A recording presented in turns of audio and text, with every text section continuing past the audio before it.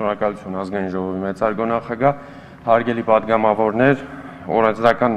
նախաձեռնությունը վերաբերում է վարչական դատավարության օրենսգրքի 83-րդ հոդվածի փոփոխությանը, ինչպես նաև վարչարության հիմունքների եւ վարչական վարույթի մասին օրենքի։ Նշեմ, որ 83-րդ հոդվածը այժմ նախատեսում է կառուցակարգ, որ վիճարկման հայցերի դեպքում վարչական ակտի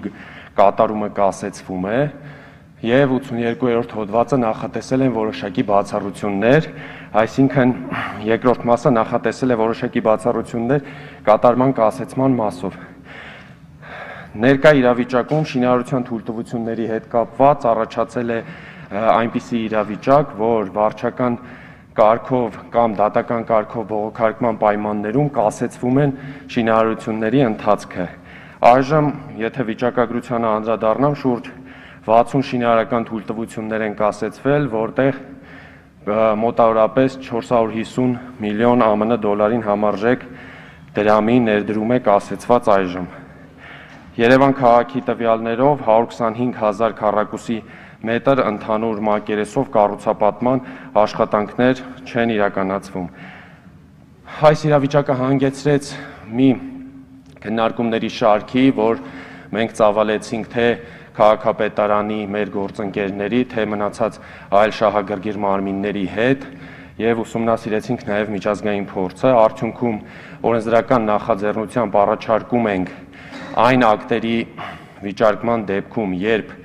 վարչական ակտը վիճարկում է հասցեատեր չհանդիսացող անձը,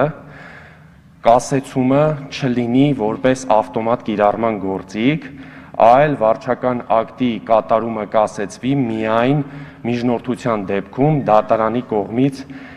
միջնորդությունը բավարարվելու պայմաններում, իսկ բավարարվելու պայմանները հետևյալն են, երբ արկա է հիմնավոր կասկած, որ հայցվորին կարող է պատճառվել զգալի վնաս կամ անհնարին դարձնել դատական ակտը։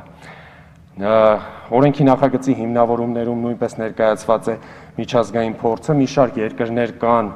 երբ որտեղ վարչական ակտի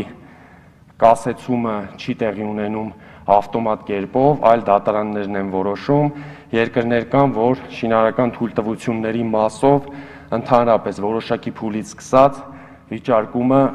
հնարավոր չէ դատական կարգով, այլ դա պետք է իրականացվեր միջդատական process-ում։ Ներկա կարգավորման ընդունման պայմաններում